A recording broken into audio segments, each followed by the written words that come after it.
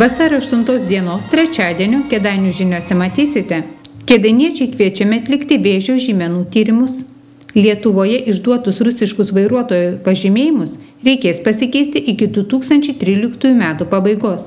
Vasaris - sveikatos ir grūdinimosi mėnuo. Onkologinės lygos - viena aktualiausių visuomenės sveikatos problemų mūsų šalyje ir visame pasaulyje. Kad kova su vėžio lyga būtų sėkminga, būtina ne tik vėžio profilaktikos ir gydymo galimybė, bet ir ankstyva diagnostika bei sąmoningas aktyvus visuomenės dalyvavimas. Todėl sausio vasario mėnesiais Kėdainių pirminėme sveikatos priežiūros centre vyksta ankstyvos vėžio diagnostikos akcija kurios metu suaugusiems asmenims galima atlikti mokamus vėžio žymenų tyrimus. Vėžio žymenys dažniausiai tai yra baltymai, kurie gaminami organizme ir kurie gali parodyti, ar pacientas e, serga vėžiu ar ne. Taip kad būtų vertinga išsitirti. Laboratorijoje atlikti vėžio žymenų tyrimai gali jums padėti anksti diagnozuoti vėžinį procesą, dar nesant jokių klinikinių požymių. Tyrimas yra mokamas, jį, jį atlieka Kedainių pirminės sveikatos priežiūros centras kartu su laboratorija Antėja. Pacientas turėtų kreiptis į šeimos gydytoją ir aptarus problemas šeimos gydytojas nukreiptų pacientą į laboratoriją išsitirti. Kadangi tyrimai yra atliekami įvairūs, reikėtų pacientui pakalbėti su šeimos gydytojų, kokios yra problemos, kadangi tyrimas yra mokamas, kokius žymenis atlikti, kadangi galima atlikti, sakykime, moterims kiaušidžių vėžio, krūtų vėžio žymenis. Vyrams rekomenduojama prostatos, sėklydžių, kepenų vėžio žymenis. Taip pat galima ir atlikti kompleksinį ištyrimą tiek vyrams, tiek moterims. Tyrimas nėra labai specifinis, jis tik nukreiptų tolimesniem tyrimam pacientą. Taip pat dar nepaminėjau, kad vėžio žymenų tyrimai atliekami ir sergantiems pacientams įvertinti gydimą ir toliau plitimą lygos. Pasaulinės sveikatos organizacijos ekspertai teigia, kad onkologinių lygų profilaktika, ankstyva jų diagnostika bei savalaikis gydimas mirtingumą nuo šių lygų iki 2020 metų sumažintų per pus, dar ketvirtadaliu padėtų visai išvengti vėžio. Kadangi yra mokamas tyrimas, tai akcijinės kainos taikomos yra vasario mėnesį. Vasario ketvirta yra minima kaip kovos su vėžiu diena. Tai tuo tikslu ir, ir taikoma akcija šitiem tyrimam. Tarp kitko jau ne pirmi metai šiemet, pas mus yra antri metai, kai daromi tie tyrimai. Jau antri metai daromi. Ar susidomėjimas yra? Yra susidomėjimas, tikrai turime pacientų, kurie atlieka ir klausia šeimos gydytojo patarimo. Šių metų sausio 25-ąją vyriausybė pritarė vidaus reikalų ministerijos pateiktam nutarimo projektui dėl vairuotojo pažymėjimų galiojimo, Pagal jį gyventojai turės pasikeisti po 1990 kovo 11 dienos išduotus tarybinio pavyzdžio, tai yra rusiškus vairuotojo pažymėjimus. Šių dokumentų išskirtinis bruožas – rusų kalba parašytas dokumento pavadinimas. Rusiškus vairuotojo pažymėjimus ES pavyzdžio pažymėjimus reikės pasikeisti iki 2013 m.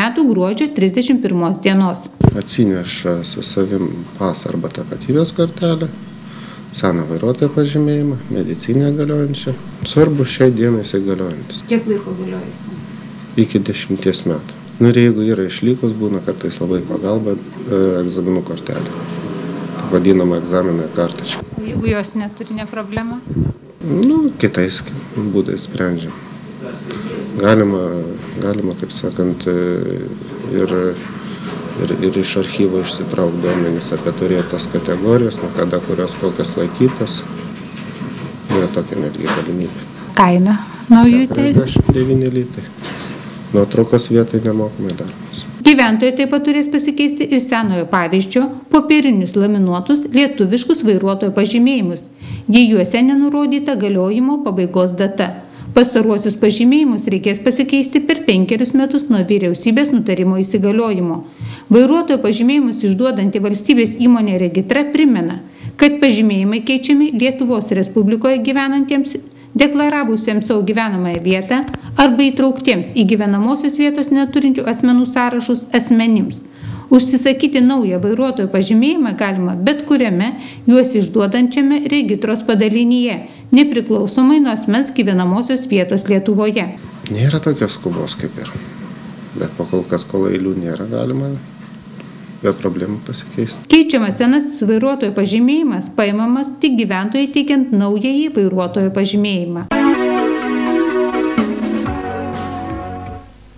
Vasaris - sveikatos ir grūdinimosi mėnuo. Specialistai kviečia visus išjungti televizorius, kompiuterius, išeiti iš kabinetų klasių į parką ar mišką. Kedainiečiai skatinami taip pat dalyvauti įvairiuose renginiuose, o jų iš tiesų yra gausu kad ir 11 dieną, 11 val. vyksantis renginys, renkasi visi norintys daugšos mokykloje ir Ten bus tiek pokalbiai, tiek bus mankšta parodyta, tiek bus meditacinis įėjimas ir bėgimas ir aišku, kiekvienam pagal galimybės išbandymas šalto vandens. Be to vasario mėnesį iš tikrųjų turi kiekvienas kedainietis, norintis nueiti į sporto salę.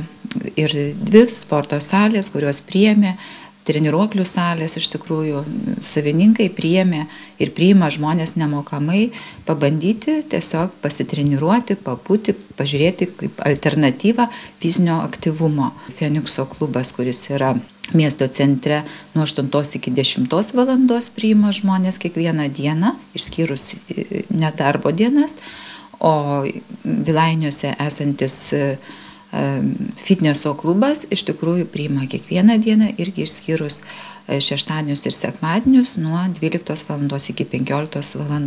Vasario 17-19 dienomis Palangoje vyks tradicinė grūdinimosi šventė Palangos ruonį 2012, kurioje ruošiasi dalyvauti kedainiečiai. Be to vasaris dar yra gausus ir kitais renginiais, kadangi yra vasario 11 diena e, pasaulinė ligonio diena, todėl Kartu su Saulutės vaiko, vaikų globos namais organizuojame tokią akciją ligoninėje. Tiesiog tai socialinė akcija, jis skirta sergantiems žmonėms su gražiais palinkėjimais greičiau pasveikti ir turėti geresnę sveikatą. Valentino dienos šventė vėlgi tai yra daugiau jaunimo turbūt šventė, bet mūsų tikslas, kad tos šventės iš tikrųjų būtų ir atsakingos, ir kad į tą meilę būtų žiūrima kur kas rimčiau, kaip į nevedadienį reiškinį. Ir mes tiesiog organizuojame tokias akcijas, tiesiog teikdami informaciją apie galimas užkričiamas lygas. Tai yra nebumtelk, kad dovana netaptų nemalonę stigmeną. Iš tikrųjų toks šūkis šios dienos. Ir kiti renginiai, kurie vyks tiek kultūros centruose, sakykime, užgavinių šventės, tiek mokyklose, tiek darželiuose, tiek įvairiuose kolektyvuose yra be abejo labai daug organizuojama įvairiausių gražių renginių, apie kuriuos turbūt mes visus ir nežinome. Tiesiog yra geri, gražus pavyzdžiai, kuriais turėtų sekti ir kiti. O visi norintys susipažinti su joga kviečiami vasario 24-17 val. į darželį Viturėlis esantį jos vainių gatvėje. Ketvirtadienio kėdainių garsas pasakoja apie tai, kaip kėdainių knegesiams teko gelbėti gulbės Priešgaisrinėje gelbėjimo tarnyboje, kaip ir miesto seniūnyjoje bei Kėdainių garso redakcijoje, netilo kėdainiečių skambučiai pranešantis, kad ant nevėžio upės ledo jau yra sušalusių ir kritusių gulbių. Ačiū Dievui, nejudančius ir sustirusius paukščius išvykę skambinusieji apsiriko. Gulbės gyvos.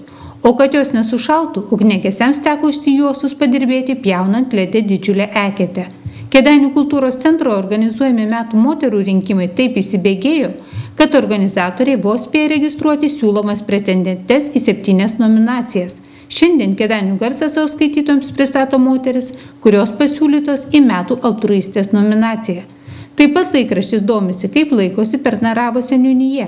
Patarė, ką daryti pamačius neturinti kur dėti žmogų, kad šis neliktų šaltyje.